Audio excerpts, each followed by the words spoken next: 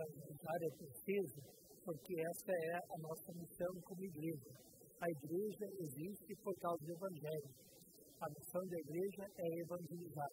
Então, se eu quero ser, se nós queremos ser igreja, então é preciso evangelizar. Evangelizar é a nossa missão e vocação.